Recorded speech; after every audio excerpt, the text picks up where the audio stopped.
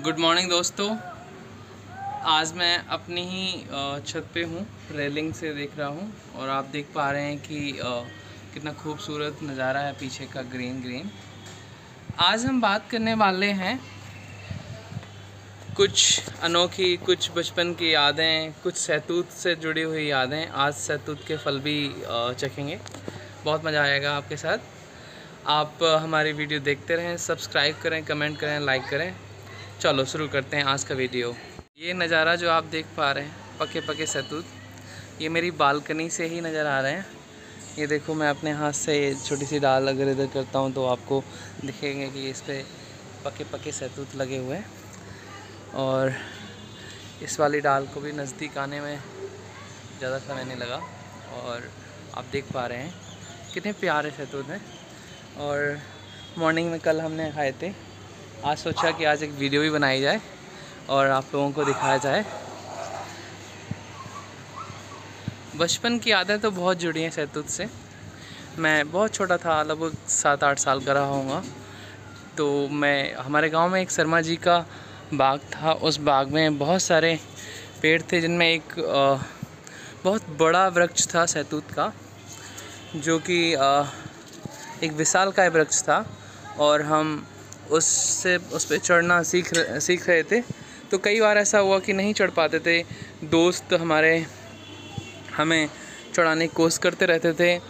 कई बार नहीं हिम्मत पड़ी क्योंकि गिरने का डर था और उस डर के साथ साथ हमें मतलब आगे बढ़ने की भी उम्मीद थी क्योंकि सहतूत खाने जो होते थे, कहीं ना कहीं लाइफ में डर आपको रोकता है, लेकिन कुछ उम्मीदें होती हैं जो आप पूरा करने के लिए उसे पाने के लिए अक्सर प्रयास करते हैं। और धीरे धीरे कोशिश करते करते दोस्त पीछे से धक्का लगाते थे और हम चढ़ना सीख गए फाइनली उस विशाल का पेड़ की जो टहनियाँ थीं, उन पे हम इस इस तरह कूदते जैसे कि कोई बंदर कूदता है मतलब वृक्ष पे। और धीरे धीरे हम अच्छे से चढ़ना सीख गए। दिन में लगभग दो बार चढ़ते थे। माँ बाप भी ढूंढते ढूंढते पहुँच जाते थे कभी कभी डांट पड़ती थी, पिटाई पड़ जाती थी। क्योंकि पूरे दिन उसी पे टंगे रहते थे। अक्सर ये होता है कि बचपन बहुत प्यारा होता है और हम जब बच्चे थे तो बहुत इन्जॉय करते थे।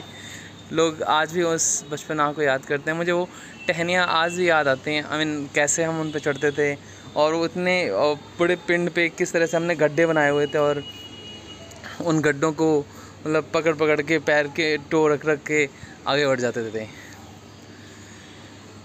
वही नज़ारा आज कुछ इस तरह से है कि प्रकृति हमें अच्छे अच्छे फल खाने को देती है और ये नज़ारा मेरी बालकनी से है तो मुझे और ज़्यादा मतलब खुशनुमा महसूस कराता है, मुझे बहुत अच्छा लगता है।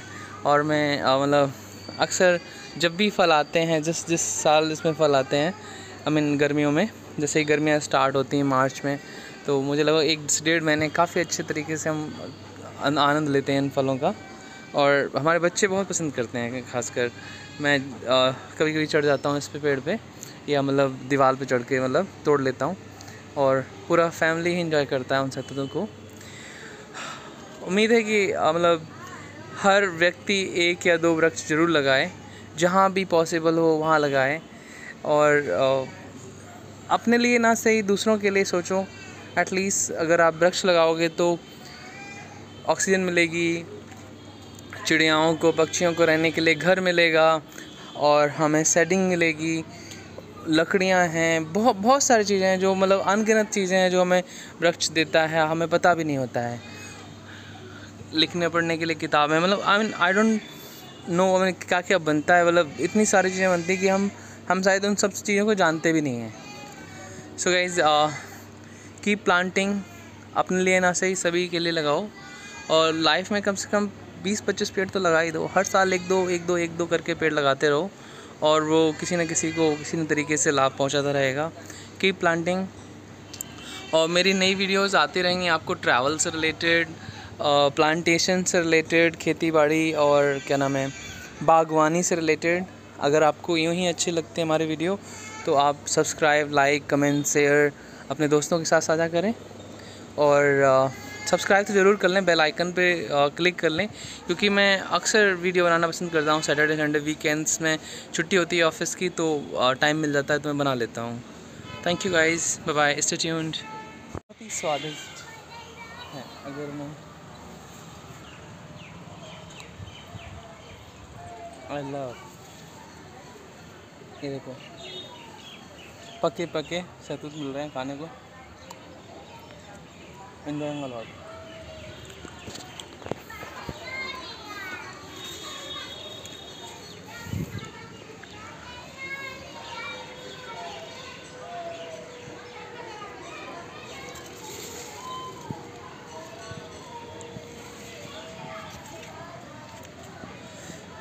भरमार है फलों की